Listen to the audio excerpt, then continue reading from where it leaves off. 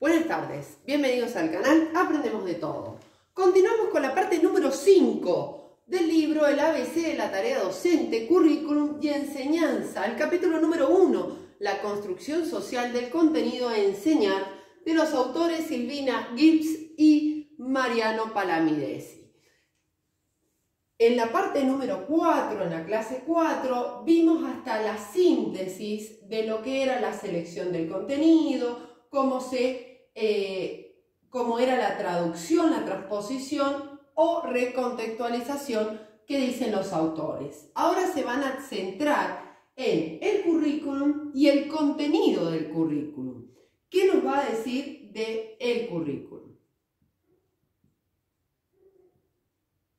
lo define. Es un documento oficial o el conjunto de documentos que materializa el proceso de selección y traducción cultural que origina el contenido a enseñar.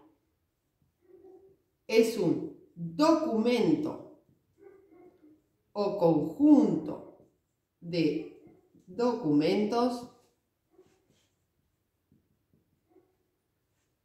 que materializa el proceso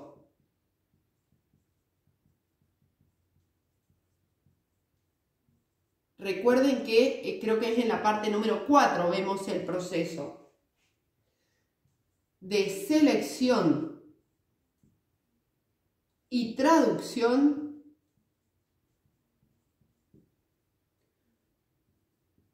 cultural que origina el contenido a enseñar. ¿Sí? Y por otro lado, vamos a ver el contenido del currículum.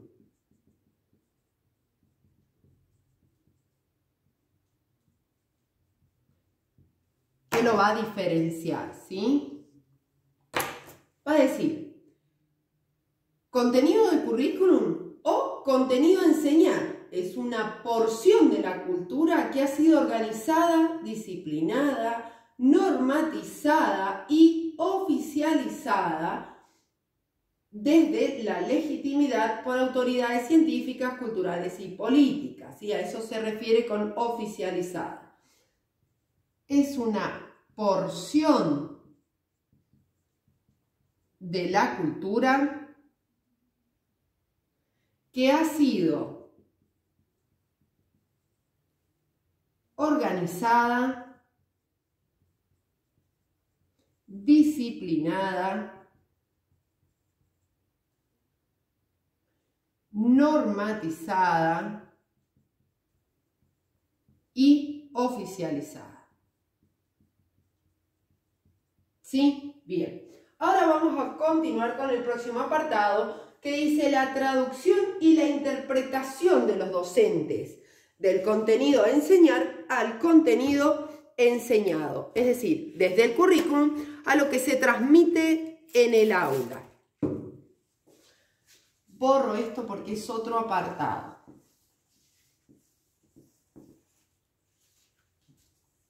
Recuerden que tienen la lista de reproducción con todas las partes ordenadas, ¿sí? Dijimos, la traducción y la interpretación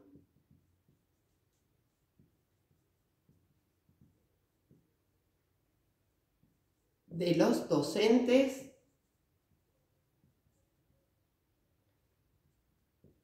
del contenido a enseñar al contenido enseñado. Les hago un asterisco para que sepan que este es el apartado. Bien, ¿qué me va a decir? Los docentes, por un lado, vamos a organizarlo, tienen un proceso de traducción.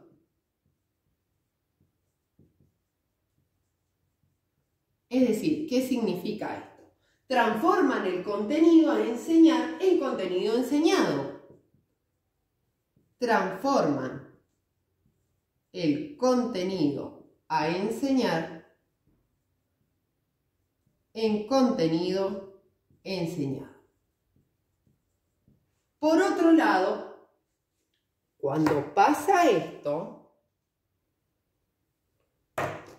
se modifican los contenidos originales, ya que se selecciona y se adecua, o sea, se adapta a, a qué nivel lo voy a enseñar y también a los conocimientos previos a las capacidades cognitivas de mis alumnos, ¿sí? Se modifican los contenidos originales ya que se selecciona y adecua. Bien. Por otro lado, va a decir utilizan.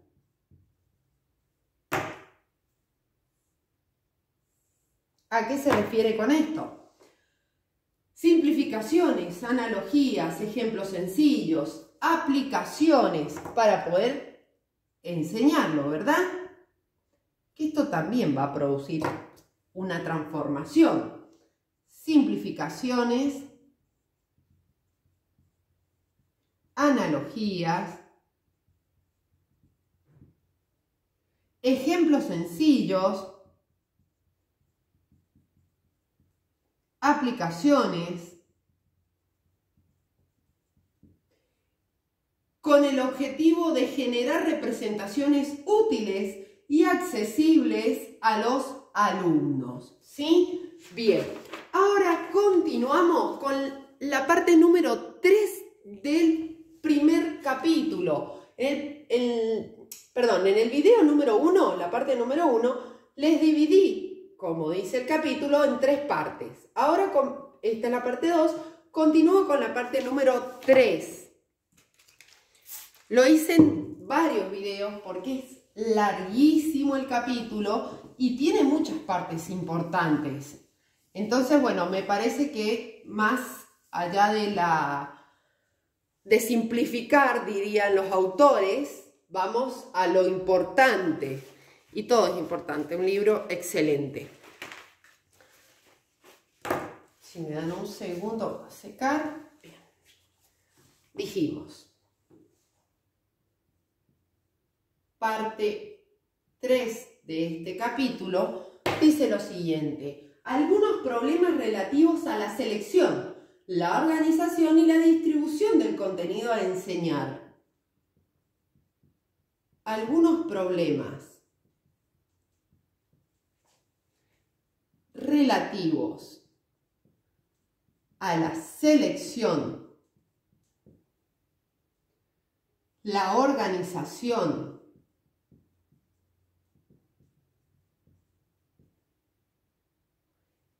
y la distribución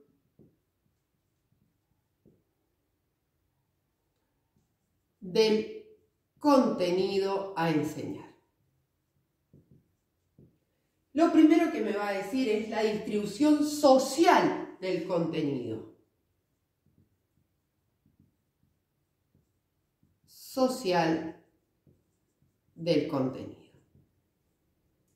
Dice, las sociedades cuentan con medios para almacenar y transmitir su capital cultural, es decir, el currículum. Acá se almacena para poder transmitir el capital cultural. Perfecto. El currículum es uno de los instrumentos en la distribución social del saber ya que determina los contenidos a enseñar en cada uno de los niveles y las instituciones del sistema educativo. Pero diferenciar socialmente la educación. Y acá da un ejemplo, dice, diferenciar socialmente la educación. Presten atención acá porque es muy importante lo que dice. Hay escuelas donde se transmiten solo los contenidos elementales, ¿sí? Se transmiten solo los contenidos elementales. Y por el otro lado, hay otras escuelas, hablamos del mismo país, la misma provincia, etc. Dice que se poseen mayor cantidad y diversidad de contenidos, como inglés, computación, equitación. Algunas eh, escuelas tienen hasta maquetería, ¿sí? Dijimos que poseen mayor cantidad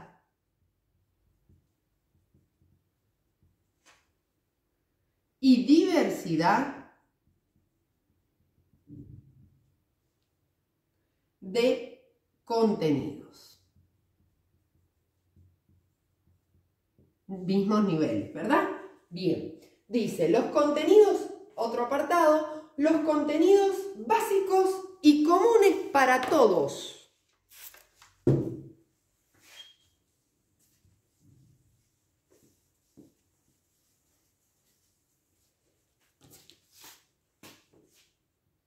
Los contenidos básicos y comunes para todos. Dice, la educación en las sociedades democráticas es un bien común, es decir, todas las personas tienen derecho al acceso a todas las personas tienen derecho al acceso a dos puntos. En un gobierno democrático, repito. Bienes culturales. Por ejemplo, un museo. Formación para el trabajo.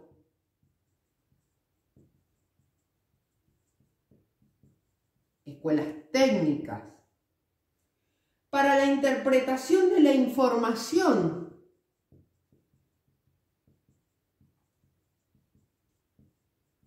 de la información, no solo la comprensión, sino el análisis crítico, las capacidades de reflexión. Dice, para el ejercicio de la participación ciudadana, para el ejercicio de la participación ciudadana.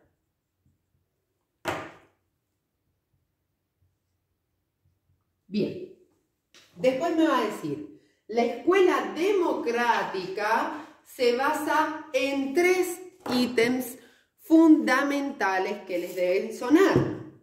¿Sí? Como es, voy a borrar acá para tener más lugar, pero bueno, saben que estamos en el apartado 3, que es el último, ¿sí? Este video va a ser el último.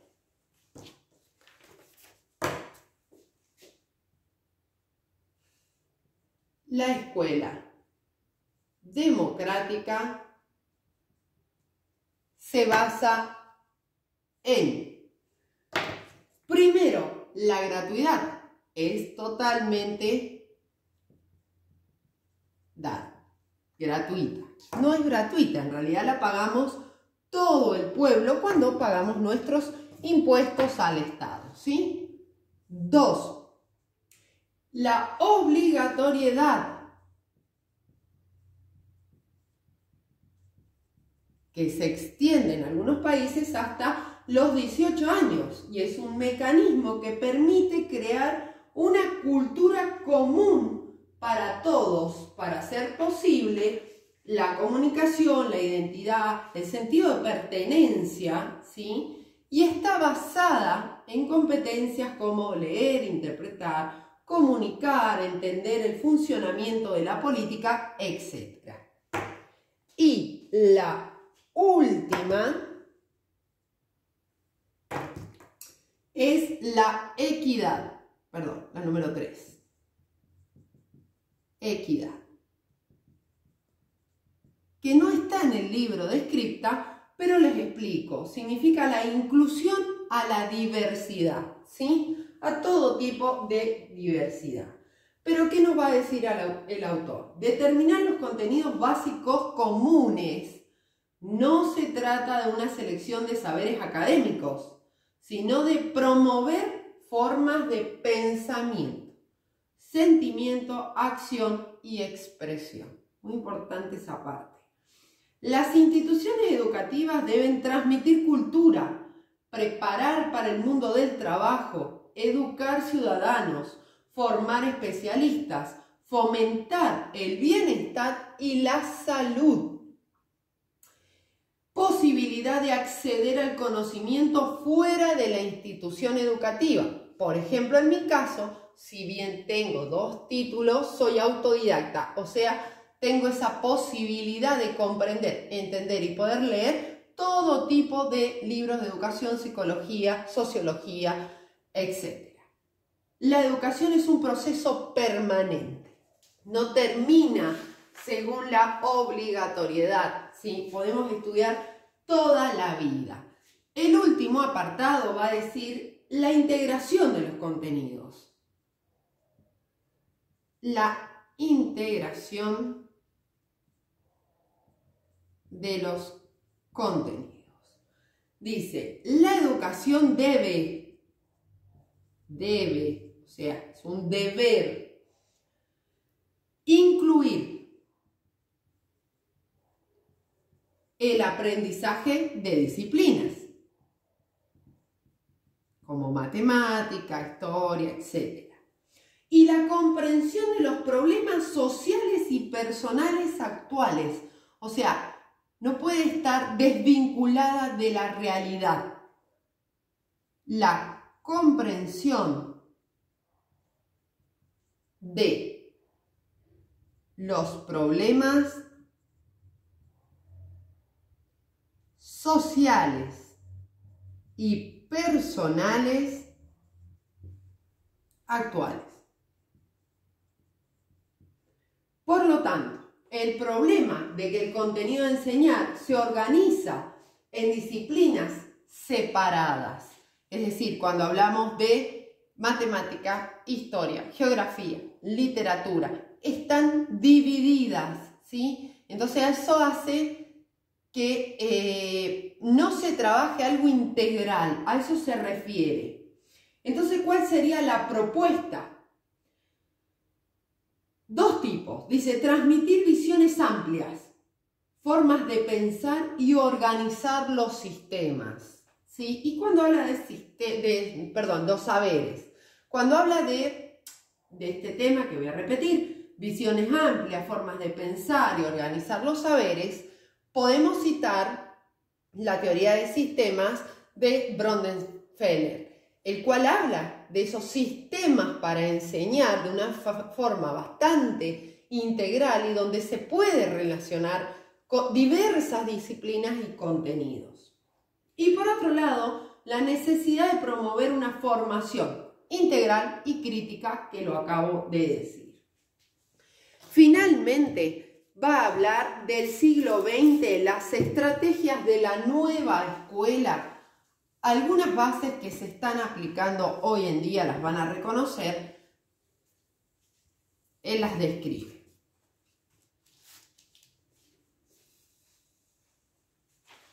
Un segundo, vamos a sacar. Ahí está. Dice, siglo XX. Estrategias de la nueva escuela. La globalización del currículum y el diseño de grandes áreas de experiencia. La globalización del currículum y el diseño de grandes áreas de experiencia.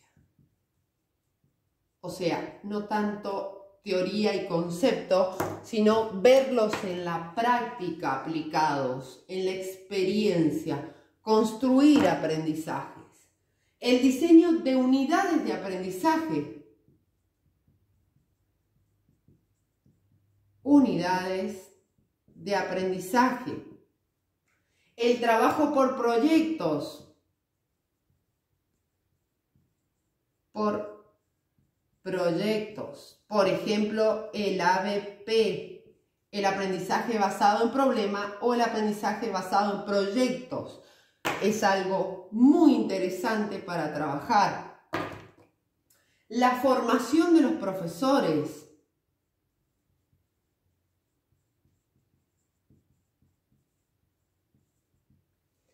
La coordinación del trabajo docente en la escuela coordinación del trabajo docente en la escuela.